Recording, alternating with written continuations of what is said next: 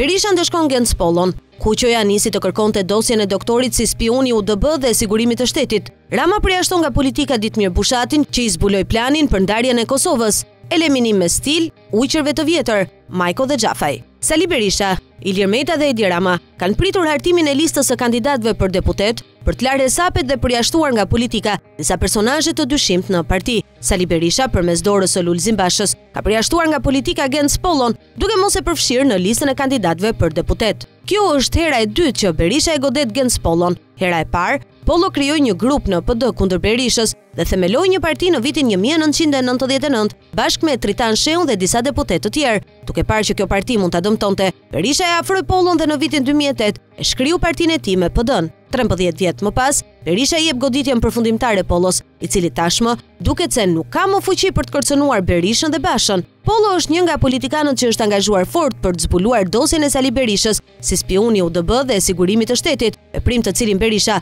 duket se nuk ia ka falur kurrë. I çuditshëm është fakti se Berisha ka larguar edhe Xhemal Gjunkshin, të cilin e ka përdorur për rrëmbimin e ish-klubit Partizani në Tiranë, por edhe çunin e Fahri Balliut, i cili është afruar shumë me Ilir Metën. Befasues është fakti se Ilir Meta dhe Monika Kryemadhi kanë vendosur Petrit Vasilin me një këmbë jashtë parlamentit të ardhshëm. Vasili, një nga çirakët në oborrin e LSI, të cilin Meta dhe Kryemadhi e përdorin sa herë ndërrojnë vendet në krye të partisë, është vendosur i treti në Tiranë, ku LSI-ja e ka të vështirë të marrë një deputet. Që Vasili të futet në parlament, duhet të marrë vota më shumë se Monika në vend të parë. Hakmarrjen më të madhe e ka shënuar Edi Rama me listën e kandidatëve për deputet. Edi Rama ka përjashtuar nga parlamenti i ardhshëm Ditmir Bushatin, i cili zbuloi dhe denoncoi planin për ndarjen e Kosovës. Rama fillimisht e zëvendësoi Bushatin me çunakun Gent Cakaj, dhe më pas e largoi si drejtues politik në Shkodër, duke e zëvendësuar me Ilir Beqajn. Rama me listën e tij ka përgatitur largimin nga politika të ujkut të vjetër Fatmir Xhafaj dhe Pandeli Majkos, duke i vendosur nga fundi i listës. Sipas të gjitha gjasave, Majko dhe Xhafaj nuk do të jenë më deputetë. Rama ka mbajtur krahun e korrupsionit Arben Ahmetajn,